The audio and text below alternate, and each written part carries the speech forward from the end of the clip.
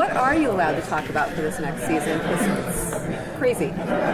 Well, we made a season three. Yeah. and we were both in it. We were both we're both in it. How we can't say, but we were there. Uh, we can talk about some things. Well, when I started watching the series, I, I, started kind of wondering, hey, is Felix actually someone in disguise? He uh, wolf in sheep's clothing. Mm. Now, going into the third series, is that something that we actually have to worry about, or is Felix really on? If it is something to worry about, I'm not aware of it. But at the same time, we've also had many conversations where if one of us does turn out to be a, I love that expression, a wolf in sheep's clothing. Um, we don't want to know. I wouldn't want to know because then it would end up affecting how I'm. I would love the idea of having that revelation come later and getting to go back and, and say, oh my God, and he was he was pretending this entire time. I don't want to. I don't want to say that's happening. I, I have no idea. As far as I know, that's not happening. But um, you know, it's Orphan Black. Anything. I didn't think we were going to have male clones at the end of season two either. Yeah, then exactly. that happened. Yeah, yeah. Are we going to find out anything about where your allegiances lie at all during this next season? Is it going to be, yeah?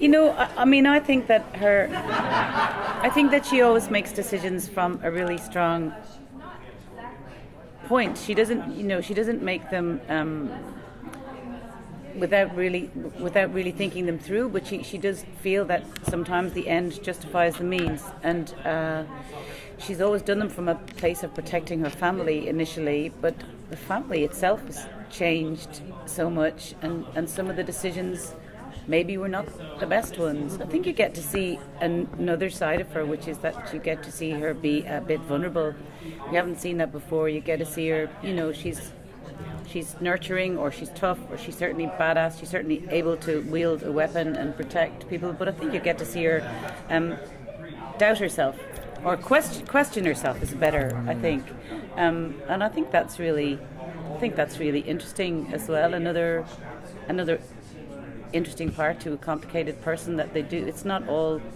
lighter shade or, or action or or uh, it, it, that there's doubt as well. So it's yeah, it was great. I love that theme too with her. The idea of it's not always what she does and how she operates isn't always necessarily moral, but she's always trying to do the right thing.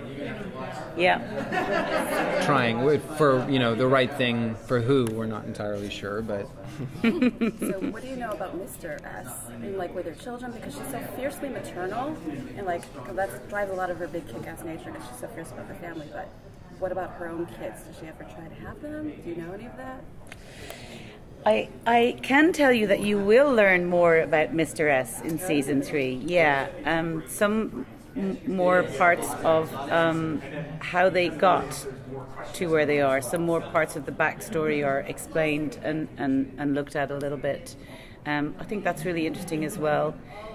Sometimes it's hard to understand why a person is or acts the way they are, but if you can have a look at where they've come from or some of the things that have been around, the way that they're formed, um, it's it, their behaviour becomes so much more understandable, doesn't it? Um, uh, you know, immediately it's just you can relate to their experiences. We do get to see s- s- some more of that. It's yeah, it's great. Is there an aspect of her that you really enjoy playing? Do you like the badass? Do you like this new vulnerability? What is it that you like the most? I just like that she's she seems like a real person. She seems like she's complicated. She seems like she doesn't always get it right. Uh, I think that's one of the great one of her great strengths. That um, sh you know she, she will she will try. She will take on anything. Um, she's not a, she's not a um, not that she's not afraid, but she's most certainly not a quitter. You know, she's a survivor. I, I find that just really interesting that she, and that's probably our greatest quality as human beings that ha- that we can survive because we adapt and react to what's around us so quickly and so instinctively. Uh, so I- I think it's amazing just to see it that she she gets through. That you somehow you're not you're never you're not sure whether you love her or you hate her sometimes because what she does is it's it's not it's not always good you know? Mm-hmm. It's it's not always bad either but it's not always good. But I also think it's good to see that she's she's not always right. Even the stuff the bad stuff can actually be bad sometimes. It's it's interesting.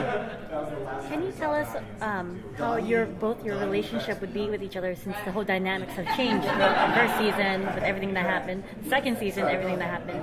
Well, because you guys were fostered, like well, he was the foster mom. And, Yes. Um, will there be a big tr- tr- uh, change here in this third season? Will we see your relationship better, get like change just differently? Deepens. Yeah. The relationship deepens. I don't know if better or worse. It just is. A, it's an entirely new shade that we haven't seen yet. Um, the complexities of the world, I think, have grown beyond any any any singular management. Like Sarah can't handle what's happening with Leda and Castor and Dyad and, and everything. She can't handle that on her own. I think there's a lot more. Um, there's more reliance on each other. Yeah. No one's really taking care of everyone. Everyone's sort of taking care of each other. And that was so great, so great to explore. Um, to have scenes where, you know, as, like you've been talking about, there's been growth from growth in Felix, growth in S, and, and that she's seeing her her kids not really as children anymore, but as autonomous adults. Yeah, I think that's part of a part of, of, of also doubting her herself is uh, not doubting herself, but but realizing that um, it's not just her making decisions for small children who are un- unable really to contribute to those decisions because they're so huge and so enormous, and and their their um, their lives depend on the decisions. Now she has two. She has to recognise and does. I think that there are two adults, and they need to be mm-hmm. part of making the decisions upon which all of their lives depend. So I think she's trying to adjust to that and, and trust them.